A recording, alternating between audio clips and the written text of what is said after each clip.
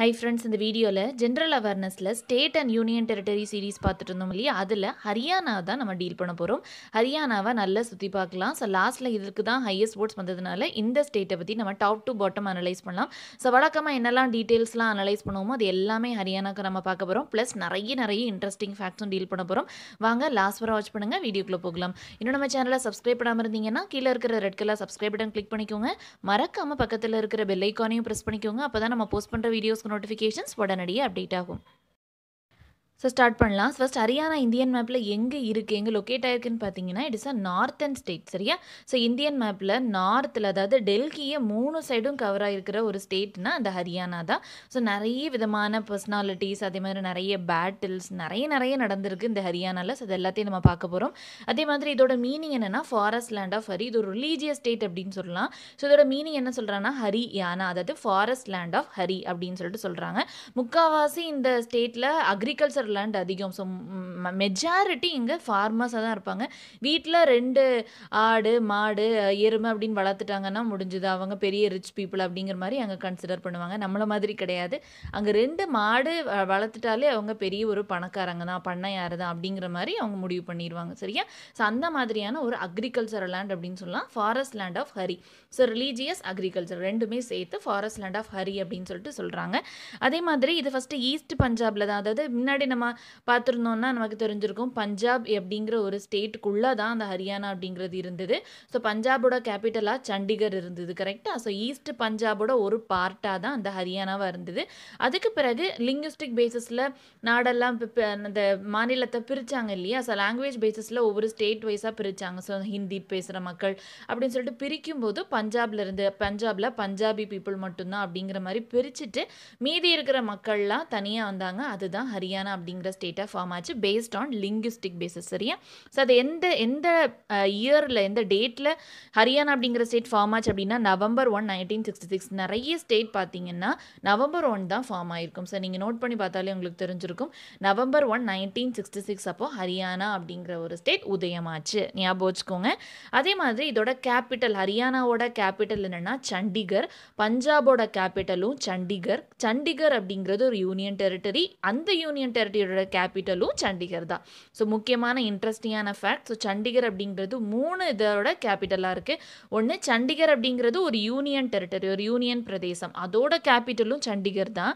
அதே மாதிரி பஞ்சாபோட கேபிட்டலும் சண்டிகர் ஹரியானாவோட கேபிட்டலும் சண்டிகர் ஸோ இதை யூனியன் கேபிட்டல் அல்லது ஜாயிண்ட் கேபிட்டல் அப்படின்னு சொல்லிட்டு சொல்லுவாங்க. புரியுது இல்லையா?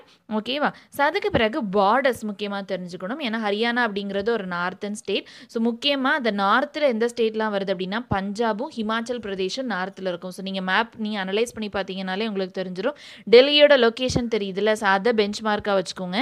ஸோ அதுக்கு மேலே தான் அந்த ஹரியானா உண்டு. சரியா? ஸோ அது ஹரியானாவோட நார்த்தில் பஞ்சாப் அண்ட் ஹிமாச்சல் பிரதேஷ் இருக்கும் இப்படி சரியா? அதே மாதிரி south and west south and வெஸ்ட்டில் Rajasthan link ஆகி இருக்கும் சரியா? ஸோ சவுத் அதே மாதிரி வெஸ்ட் ரெண்டுத்துலேயுமே ராஜஸ்தான் தான் அப்படி கவர் ஆகி லிங்க் ஆகி இருக்கும். அதே மாதிரி ஈஸ்ட்டில் பார்த்தீங்கன்னா ஈஸ்ட்டில் பார்த்தீங்கன்னா உத்தரப்பிரதேஷ் இருக்கும் சரியா? ஸோ ஈஸ்ட்டில் உத்தரப்பிரதேஷ். அப்போ நார்த்தில் Punjab and Himachal Pradesh south and வெஸ்ட்டில் Rajasthan அப்படிங்கிறது லிங்க் ஆகி இருக்கும். ராஜஸ்தான்ங்கிறது பெரிய ஒரு ஸ்டேட் தானே? ஸோ அது லிங்க் ஆகி இருக்கும். அதே மாதிரி ஈஸ்ட்டில் பார்த்தீங்கன்னா உத்தரப்பிரதேஷ் ஈஸ்ட்டில் உத்தரப்பிரதேஷ். அப்போ டெல்லி எங்கே வரும்னா டெல்லி அப்படிங்கிறது மூணு சைடுலேயும் ஹரியானா தான் கவர் ஆயிருக்கும். புரியுதா இல்லையா? ஸோ அழகாக ஒரு செல்ல குட்டி மாதிரி இந்த டெல்லி அப்படிங்கிறது ஹரியானாவோட மடியில் இருக்கிற மாதிரி இருக்கும். நீங்கள் மேப்பில் பாருங்கள் டெல்லி அப்படிங்கிறது three sides covered by Haryana தான். புரியுதா? அதே மாதிரி எத்தனை டிஸ்ட்ரிக்ட் இருக்குன்னு கேட்டிங்கன்னா இருபத்தி ரெண்டு டிஸ்ட்ரிக்ட் இருக்குது ஸோ எல்லா டிஸ்ட்ரிக்ட்டும் ஞாபகம் வச்சுக்கோங்க. ஐ மீன் எல்லா நம்பர் ஆஃப் டிஸ்ட்ரிக்ட்ஸும் ஞாபகம் வச்சுக்கோங்க. தமிழ்நாடுல எத்தனை டிஸ்ட்ரிக்ட் தேர்ட்டி ஃபைவ் டிஸ்ட்ரிக்ட்ஸ் இருக்குது ஸோ நம்ம அந்த வீடியோ அப்லோட் பண்ணி கொஞ்ச நேரத்திலேயே அனௌன்ஸ்மெண்ட் வந்தது. நான் அதை பின் பண்ணியிருந்தேன். கமெண்ட்டில் பின் பண்ணியிருந்தேன். ஸோ நீங்கள் அதை பார்க்கல அப்படின்னா number of districts Tamil Nadu thirty five கரெக்டாக ஸோ அதையும் ஞாபகம் வச்சுக்கோங்க. மெகாலயாவில் எத்தனை டிஸ்ட்ரிக்ட் பார்த்தோம் ஞாபகம் வச்சுக்கோங்க. ஸோ இப்போ ஹரியானாவில் எத்தனை டிஸ்ட்ரிக்ட் பார்க்குறோம்? டுவெண்ட்டி டூ ஸோ எல்லாமே அழகாக வரிசையாக கோர்வையாக தான் நம்ம பார்த்துட்டு வரோம். ஸோ அதே மாதிரி நீங்கள் படிச்சுட்டே வாங்க. நல்ல ஞாபகத்தில் இருக்கும். சரியா? Number of districts Haryana twenty two அந்த டுவெண்ட்டி டூ டிஸ்ட்ரிக்ஸை ஆறு சர்க்கிளாக பிரிச்சிருக்கிறாங்க ஹரியானா அட்மினிஸ்ட்ரேஷன் ஸோ என்னெல்லாம் அப்படின்னா? அம்பாலா குருகிராம் ரோட்டக் ஃபரிதாபாத் ஹிசார் கர்னால் ஓகேவா ஸோ இன்னும் என்ன எந்த பர்டிகுலர் ஆர்டரில் இல்லை. ஸோ ஆறு சர்க்கிளாக அங்கே பிரிச்சிருக்காங்க. ஸோ அந்த ஆறு சர்க்கிள்குள்ளே மொத்தம் இருபத்தி ரெண்டு district so total number of districts Haryana எவ்வளவு? இருபத்தி ரெண்டு ஓகேவா ஸோ நான் ஆல்ரெடி சொன்ன மாதிரி இது ஒரு அக்ரிகல்ச்சர் லேண்ட் பக்கா அக்ரிகல்ச்சர் லேண்ட் நிறைய ஃபுட் கிரெயின்ஸ் பால் உற்பத்தி அதிகமாக நடக்கக்கூடிய ஒரு இடம்னா அது ஹரியானா தான். நிறைய பால் புரட்சிலாம் இங்கே தான் நடந்தது அப்படின்னு சொல்லலாம். பசுமை புரட்சிக்கு இந்த ஹரியானாங்கிறது ஒரு பெரிய ஒரு சப்போர்ட்டாக இருந்திருக்கு நைன்டீன் சிக்ஸ்டீஸில். தானே அவங்க இந்த ஏதோ சொல்லுவாங்க இல்லையா? ஸோ அவங்களே உற்பத்தி பண் பண்ணியிருப்பாங்க எல்லாமே. ஓகேவா ஃபுட் கிரெயின்ஸ் ஆகட்டும் அக்ரிகல்ச்சர் கிராப்ஸ் ஆகட்டும் மில்க் ப்ரொடக்ஷன் ஆகட்டும் எல்லாமே அவங்களே உற்பத்தி பண்ணுற பொருட்களாக தான் இருக்கும் ஹரியானாவில் ரொம்ப ரிச் பீப்புள் பயங்கர ஒரு ரிச்சான ஸ்டேட் அப்படின்னு சொல்லலாம். அதிகமான செல்வந்தர்கள் வாழக்கூடிய இடம் இந்த ஹரியானா தான். பயங்கர பணம் கொளிக்கிற இடம் இந்த ஹரியானா தான். ஓகேவா அது ஏன் அப்படிங்கிற ரீசனும் உங்களுக்கு புரிஞ்சிருக்கும். ஓகேவா அக்ரிகல்ச்சரில் அதே மாதிரி லோக்சபா சீட்ஸ் எடுத்துக்கிட்டிங்கன்னா பத்து லோக்சபா சீட்ஸ் ஹரியானாக்கு ஒதுக்கியிருக்காங்க. ராஜ்யசபா சீட்ஸ் அஞ்சு ராஜ்யசபா சீட்ஸ் ஒதுக்கியிருக்காங்க. அதே மாதிரி இதோட அஃபிஷியல் லாங்குவேஜ் என்னன்னா ஹிந்தி தான். நிறைய ஹிந்தி பீப்புள் தான் நிறைய இருக்கிறாங்க. அதே மாதிரி செகண்ட் அஃபிஷியல் லாங்குவேஜ் என்னன்னா பஞ்சாபி. இதில் ஒரு இன்ட்ரெஸ்டிங் ஃபேக்ட் பார்த்தேன். என்னென்னா கொஞ்சம் வருஷம் முன்னாடி வர தமிழ் தான் செகண்ட் அஃபிஷியல் லாங்குவேஜ் ஆஃப் ஹரியானாவாக இருந்து தான் ஏன் அப்படின்னா பஞ்சாப்லேருந்து பிரிஞ்சு வந்ததுனால பஞ்சாபி அப்படிங்கிறத நான் அஃபிஷியல் லாங்குவேஜாக எடுக்க மாட்டேன் அப்படிங்கிற ஒரு திட்டவட்டமான நடவடிக்கைனால பஞ்சாபி அப்படிங்கிறது செகண்ட் அஃபிஷியல் லாங்குவேஜாக இல்லை. கொஞ்சம் வருஷம் முன்னாடி வர சரியா? ஸோ தமிழ் தான் செகண்ட் அஃபிஷியல் லாங்குவேஜாக இருந்து தான் பட் ஒரு தமிழ் ஸ்பீக்கிங் பீப்புளும் அங்கே கிடையாதான் ஆனால் ஓகே சார் தமிழாக வைக்கலாம் அப்படின்னு சொல்லிட்டு தமிழ் தான் செகண்ட் அஃபிஷியல் லாங்குவேஜாக இருந்திருக்கு. அதுக்கு பிறகு இப்போ ரீசெண்டாக இல்லை அட்மினிஸ்ட்ரேட்டிவ் பர்பஸ்க்காக இல்லை பஞ்சாபி தான் செகண்ட் அஃபிஷியல் லாங்குவேஜாக அவங்க அனௌன்ஸ் பண்ணியிருக்காங்க. ஓகேவா அஃபிஷியல் லாங்குவேஜாக ஃபரியானா ஹிந்தி அதே மாதிரி செகண்ட் அஃபிஷியல் லாங்குவேஜ் மேபி கேட்கலாம் அது பஞ்சாபி. அதே மாதிரி உருது பீப்புள் இருக்காங்க பெங்காலி நேபாளி இந்த மாதிரி எல்லா லாங்குவேஜ் பீப்புள் இருக்கிறாங்க. அதுக்கு பிறகு ரேங்க் பார்த்தீங்கன்னா ஏரியா வைஸில் டுவெண்ட்டி ஃபஸ்ட் ரேங்க்கில் இருக்குது அதே மாதிரி பாப்புலேஷன் பேசிஸில் பதினெட்டாவது ரேங்க்கில் இருக்குது ரொம்ப போரஸ்ட் செக்ஸ் ரேஷியோ மெயின்டைன் பண்ணுற ஒரு ஸ்டேட்னா அந்த ஹரியானான்னு சொல்லலாம். செக்ஸ் ரேஷியோ ரொம்ப மோசமாக இருக்கும். பட் இப்போ கொஞ்சம் பரவாயில்ல. இப்போ அடுத்த டூ தௌசண்ட் லெவன் சென்சஸ் படி செக்ஸ் ரேஷியோ ரொம்ப க ரொம்ப போராக இருந்து செக்ஸ் ரேஷன் என்ன அப்படின்னா இந்த மேலுக்கு இவ்வளவு ரேஷியோ இந்த ரேஷியோ சொல்லுவோம் இல்லையா? அதாவது இவ்வளவு மென்னுக்கு இவ்வளவு ஃபீமேல் இருக்கணும் அப்படிங்கிற அந்த ரேஷியோ அது ரொம்ப முக்கியமாக தான் செக்ஸ் ரேஷியோன்னு சொல்லுவாங்க. அந்த ரேஷியோ ஹரியானாவில் ரொம்ப மோசமாக இருந்தது. இட் மீன்ஸ் நிறைய இந்த கள்ளிப்பால் கொடுத்து பொண்ணுங்களெல்லாம் மேபி அப்படி ஏதாவது இருக்கும்னு நினைக்கிறேன். அந்த அந்த மாதிரி இருக்கிறதுனால தான் கண்டிப்பாக பசங்களை கொண்டிருக்க மாட்டாங்க. பொண்ணுங்களை தானே டார்கெட் பண்ணியிருப்பாங்க. ஸோ அந்த செக்ஸ் ரேஷியோங்கிறது ஹரியானாவில் ரொம்ப போராக இருந்தது. பட் இப்போ ரொம்ப பரவாயில்ல அப்படின்னும் சொல்கிறாங்க சரியா? அடுத்தது என்னென்னா ஹையஸ்ட் பீக் இந்த ஹரியானாவில் ஹையஸ்ட் பீக் எதுனா? கேரோ பீக் தான். Highest peak Karoh peak thousand four ninety nine metre டென்டேட்டுவா thousand four ninety nine metre அப்படின்னு சொல்லிட்டு சொல்கிறாங்க கேரோ பீக் சரியா? அடுத்தது லார்ஜஸ்ட் சிட்டி ஹரியானாவில் லார்ஜஸ்ட் சிட்டி அப்படின்னு சொன்னால் அந்த ஃபரிதாபாத் தான். ஸோ ஃபரிதாபாத் அப்படிங்கிறது ஒரு டிஸ்ட்ரிக்ட்னு சொன்னேன் இல்லையா? ஸோ அந்த சிட்டிக்கு பேர் ஃபரிதாபாத். ஸோ அந்த ஃபரிதாபாத் அப்படிங்கிறது லார்ஜஸ்ட் சிட்டி ஆஃப் ஹரியானா. அடுத்தது high court so high court அப்படிங்கிறது ஆல்ரெடி சொன்ன மாதிரி பஞ்சாப் கூட இருந்து பிரிஞ்சு வந்ததுனால ரெண்டுத்துக்குமே காமனான ஒரு ஜாயிண்ட் ஹைகோர்ட் அப்படின்னு சொல்லலாம். ஓகேவா பஞ்சாப் அண்ட் ஹரியானா ஹைகோர்ட் அப்படின்னு சொல்லிட்டு அதோட நேம் ஸோ ஹைகோர்ட் என்னது? பஞ்சாப் அண்ட் ஹரியானா ஹைகோர்ட் அதான் அதோட நேமே சரியா? அடுத்தது சிஎம் கவர்னர் பார்க்கலாம். முதல் சிஎம் ஆஃப் ஹரியானா யார் அப்படின்னா பகவத் தயாள் சர்மா. பகவத் தயாள் சர்மா. அதுக்கு பிறகு முதல் கவர்னர் யாருன்னா தர்ம வீரா முதல் கவர்னர் யார்? தர்ம வீரா ஓகேவா அதுக்கு பிறகு ப்ரெசன்ட் சிஎம் இப்போ இருக்கிற சிஎம் யாருன்னா மனோகர் லால் கட்டர். ஸோ மனோகர் லால் கட்டர். இவர் பிஜேபியை சார்ந்தவர். பத்தாவது CM of Haryana. October twenty six two thousand fourteen அப்போ இவர் அவரோட ஆஃபீஸை ஸ்டா ஸ்டார்ட் பண்ணியிருக்கார். Hit took office on this date சரியா? ஸோ அப்போ கிட்டத்தட்ட இப்போ அசம்பிளி எலெக்ஷன்ஸ் மேபி வரலாம். சரியா? கன்ஃபார்ம் எனக்கு தெரியல. But October twenty six two thousand ஃபோர்டீன்லேருந்து இவர் சிஎம்மாக இருக்கிறார். ஓகேவா அடுத்தது பிரசன்ட் கவர்னர் யார் அப்படின்னா Satyadev Narayan Arya. Satyadev Narayan Arya August twenty five two thousand எயிட்டீன்லேருந்து இவர் கவர்னராக இருக்கார். அதுக்கு பிறகு பிரசன்ட் சீஃப் ஜஸ்டிஸ் யார் அப்படின்னா Krishna Murari. June two two thousand எயிட்டீன்லேருந்து இவர் சீஃப் ஜஸ்டிஸ் ஆஃப் ஹரியானாவாக இருக்கிறார். ஓகேவா அதே மாதிரி இந்த ஹரியானா அப்படிங்கிறது அதிகமாக நான் சொன்னேன் இல்லையா ஃபுட் கிரெயின்ஸ் உற்பத்தி அக்ரிகல்ச்சர் லேண்ட் அப்படின்னு சொல்லிடலாம். அப்படியே முத்திர குத்திடலாம். பெரிய ஒரு அக்ரிகல்ச்சர் லேண்ட் ஃபார்மர்ஸ் தான் எங்களோட பேக் போனே ரைட்டா ஸோ இது second largest producer of food grains அப்படின்னு சொல்லிட்டு சொல்லலாம். ஸோ ஃபுட் கிரெயின்ஸ் உற்பத்தியில் second largest producer of India எதுன்னு கேட்டாங்கன்னா ஹரியானா தான். அப்போ ஃபர்ஸ்ட் லார்ஜஸ்ட் ப்ரொடியூசர் யாருன்னு தெரிஞ்சுக்கணும் இல்லையா? அது என்னன்னா பஞ்சாப் தான். ஸோ பஞ்சாப் ஹரியானா ரெண்டும் சேர்ந்துருக்கும் போது அது ரொம்ப பெரிய ஒரு ஒரு அக்ரிகல்ச்சர் லேண்டாக இருந்திருக்கும். ஸோ அது இப்போ second largest producer maybe due to population area அதெல்லாம் வச்சு பஞ்சாப்ங்கிறது first largest producer of food grains மறந்துடாதீங்க அடிக்கடி கேட்குற ஒரு question first largest producer of food grains இது Punjab. Second largest producer of food grains என்னன்னா ஹரியானா. ஓகேவா அடுத்தது ஸ்டேட் சிம்பிள்ஸ்லாம் பார்க்கலாம். ஸ்டேட் பேர்ட் ஆஃப் ஹரியானா என்னன்னா பிளாக் ஃப்ராங்கோலின் அதுக்கு மாதிரி ஸ்டேட் ட்ரீ என்னென்னா பீப்பிள் ட்ரீ ஸ்டேட் ஃப்ளார் என்னென்னா லோட்டஸ் ஸ்டேட் அனிமல் என்னென்னா பிளாக் பக் ஸோ எல்லா சிம்பிள்ஸும் ஞாபகம் வச்சுக்கோங்க.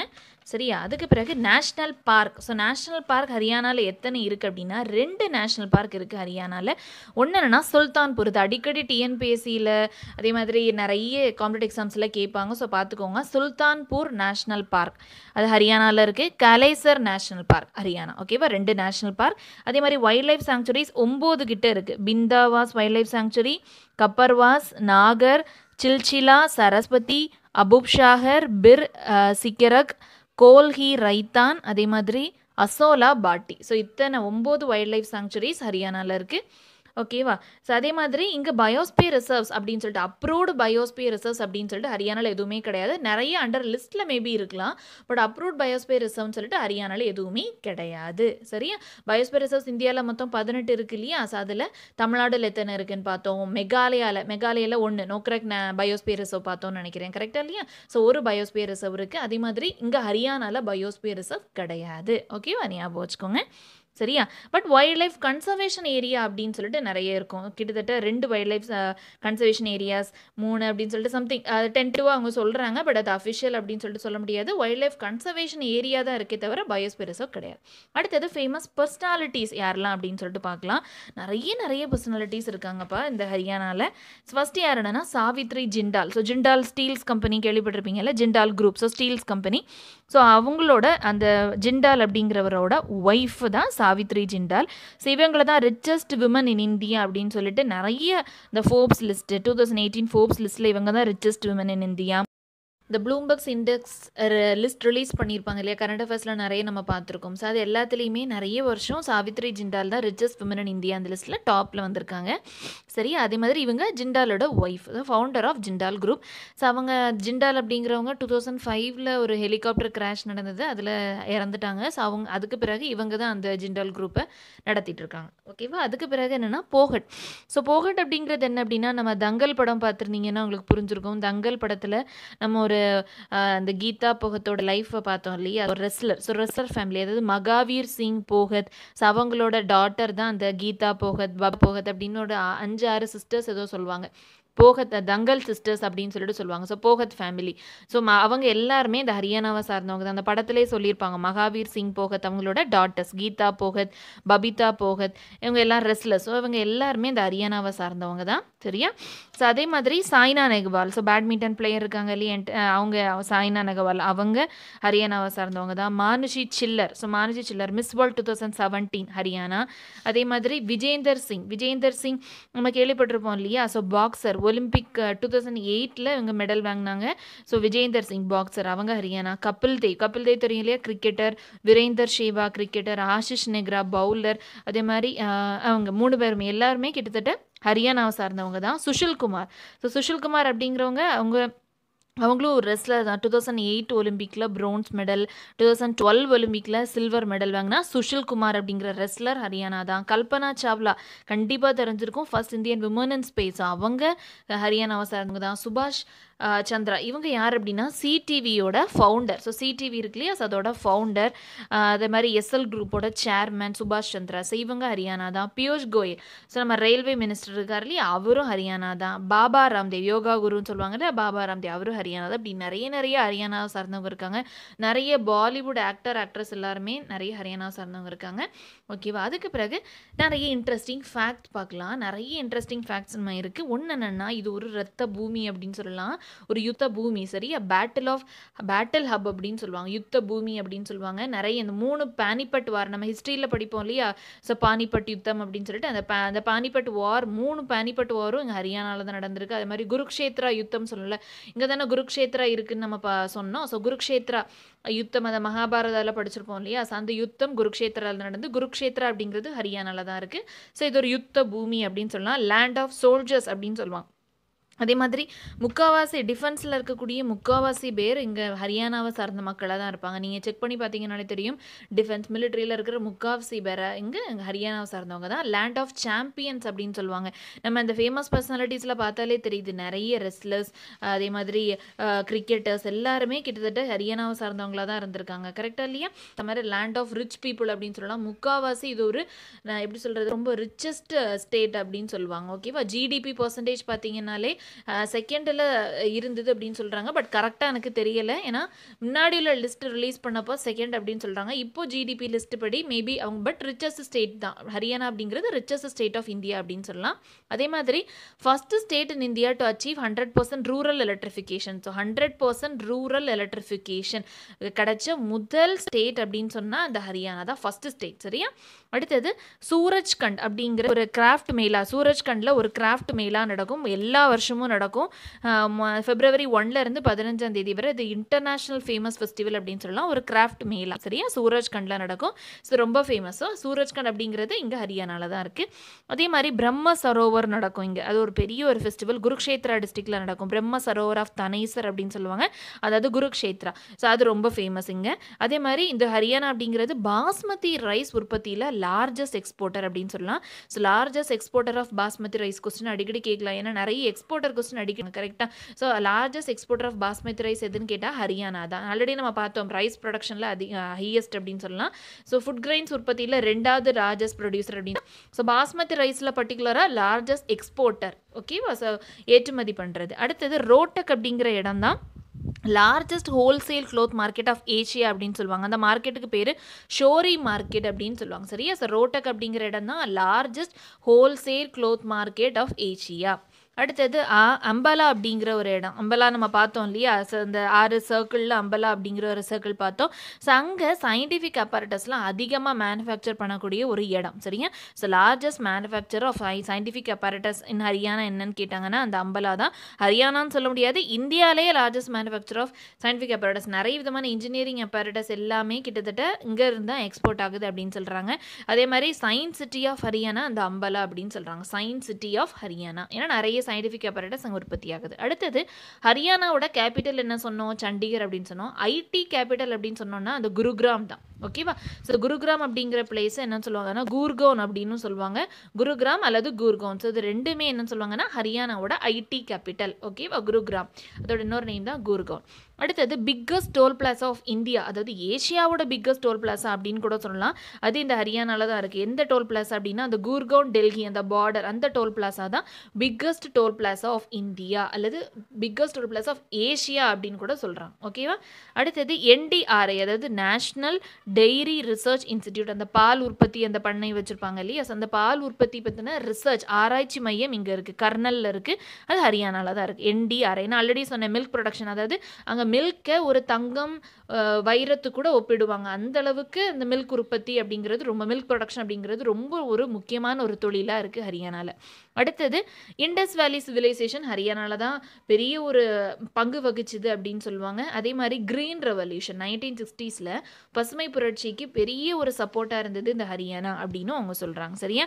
ஓகே ஹரியானான்னு எடுத்துக்கிட்டாலே அது ஒரு யுத்த பூமி அதே மாதிரி நிறைய உற்பத்திகள் இங்கே தான் நடக்குது அக்ரிகல்ச்சரில் ஆரம்பித்து அதே மாதிரி scientific apparatus passenger car tractor அப்படி இப்படின்னு சொல்லிட்டு நிறைய விஷயம் ஹரியானாவில் நடக்குது.